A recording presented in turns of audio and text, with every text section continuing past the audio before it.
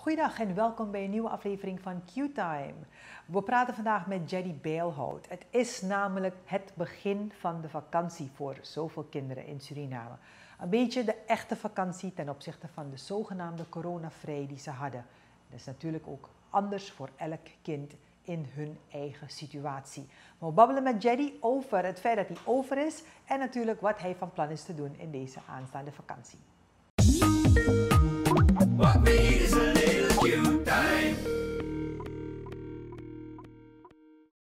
Hier gaan we dan. Jerry, welkom in Q-Time. Hoe gaat het met jou? Goed, en met u? Het gaat, met mij gaat het goed. Is dat vandaag nou je eerste vakantiedag? Ja, zo te zien is het echt nu eindelijk vakantie. Eindelijk vakantie. Oké, is goed. En ben je over?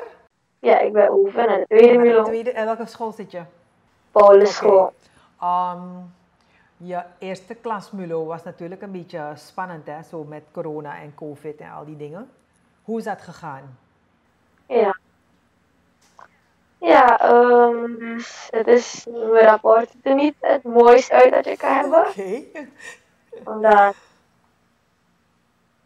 omdat ik gewoon, gewoon een beetje afgeleid was ook. Ja. Als je te veel gewend bent aan spelletjes spelen en zo. Ja, Ja, ja. Wat voor spelletjes? Fortnite. En ja, oh, leuke spelletjes. Gamen. Ja, ja. Oké. Maar je bent over. Dat is belangrijk. Je rapport is niet het mooiste van eh, de hele klas. Maar je hebt het tenminste wel gehaald. Ja. Maar laten we nu even teruggaan naar je rapport. Want je eerste en je tweede kwartaal. ehm, hoe had je toen gewerkt? Eerste kwartaal was Ja. goed. Tweede kwartaal ben ik gedropt? Oké. Dus eigenlijk, ehm, als je zegt, je derde kwartaal was eigenlijk de periode van corona, toch? Oké, Ja. hoe heb je in je derde kwartaal gewerkt? Ehm, wij hadden niet echt een derde kwartaal, want mijn school stuurde niets om te doen echt. Dus we hebben twee kwartalen als normaal, als iedere school Oké, dus wat heb jij geleerd uit je eerste en je tweede kwartaal in je coronatijd? Dat ik gewoon gefocust moet Ja. zijn altijd. Ja? Dat Ja. je altijd je best moet doen. Want als mensen op een gegeven moment alleen maar naar je eerste of naar je tweede kwartaal rapport moeten kijken, dat die al goed genoeg moeten zijn om over te gaan. Dat is de boodschap. Ja. Oké, maar goed. Genoeg over school. Je hebt een, eh, nu vakantie. Ehm, voelde het niet al die tijd dat je thuis zat ook een beetje aan als vakantie? Ja, maar het- soms is het gewoon saai om thuis te zijn. Dan denk ik gewoon, ik wil toch wel naar school. Ja. Want er is soms gewoon niets om te doen thuis. Ja, want het lijkt gewoon of je zo in een gevangenis bent waar je niets kan doen. Ja. Oké, dus dat begrijp ik. Maar nu is het vakantie, dus je hoeft niet naar school. Je bent nu echt, echt, echt vrij. Maar je bent nog steeds thuis en er is nog steeds niets te doen. En je mag eigenlijk nog steeds niet echt op straat of met een mondkapje. Dus het is eigenlijk een beetje hetzelfde. Dus wat is het verschil? Het verschil is gewoon dat je, want soms stuurt school gewoon huiswerk om te doen. Maar nu krijg je ook gewoon geen huiswerk. Je, kan, ik wel gewoon huiswerk van mijn moeder. Ja. Ja, dat kan. ja. Oké, wat voor werkjes geeft je moeder je?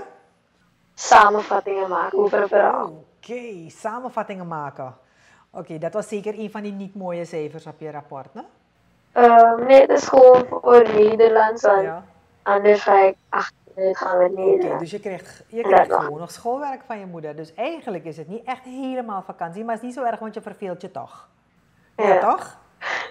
Oké, maar je, je, je, krijgt geen eh, werkjes als je moet de tuin harken en je moet plantjes water geven en zo. Dat niet.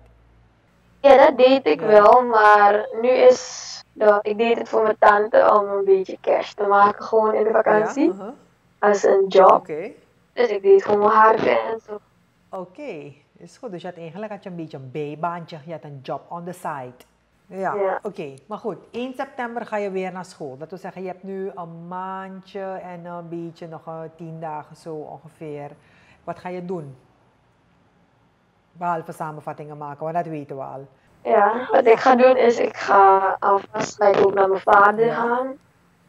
En mijn neefje, en nee, meestal komen mijn neefjes dus soms ook naar Lelydorp. daar speel ik met hun. Ja? De game samen. Oké. Ja. Dus die Fortnite die blijft er wel in. Ja, Ja. toch wel hè? Oké, tweede Mulo Paulus school. Hoe ga je dat aanpakken vanaf 1 september? Vertel me.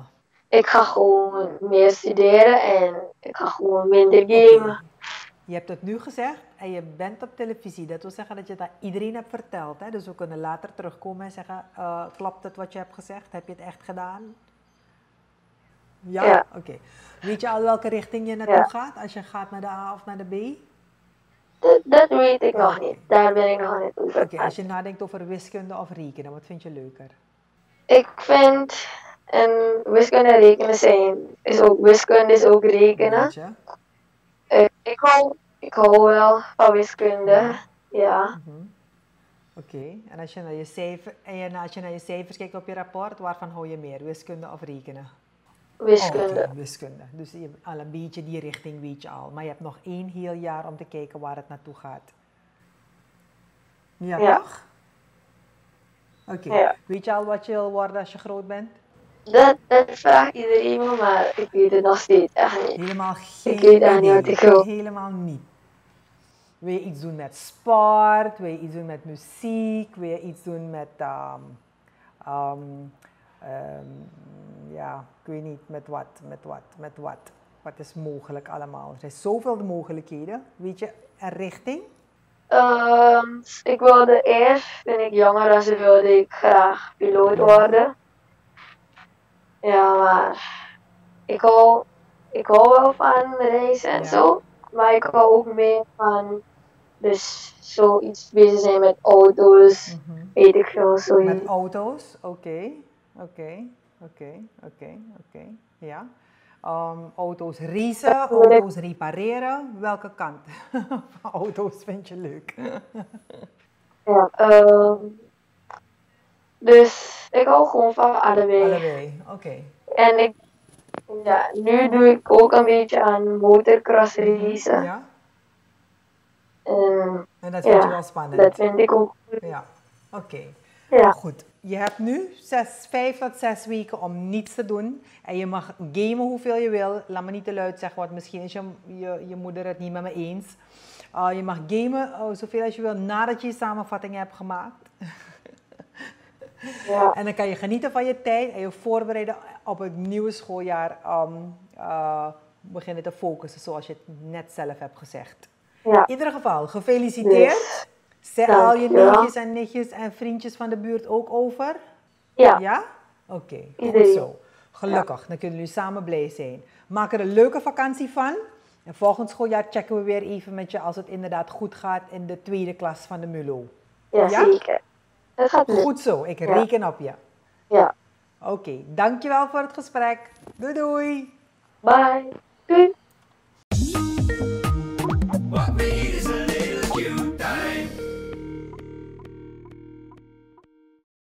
Tot zover dan Jerry en zijn plannen voor de vakantie. Zeker weten ook de motivatie die hij gevonden heeft om het tweede jaar van de MULO-school, waar hij volgend schooljaar naartoe gaat, met een beter resultaat af te ronden. Ja, het is voor alle kinderen een beetje een moeilijke periode geweest in de afgelopen maanden. Maar daarom juist belangrijk om ze te motiveren om het volgend schooljaar er weer fris tegenaan te gaan voor betere resultaten. Dank u wel voor het hebben willen kijken naar deze aflevering van Q-Time. Tot de volgende keer. This is another Supreme production. Supreme TV. To entertain, to inform, to inspire.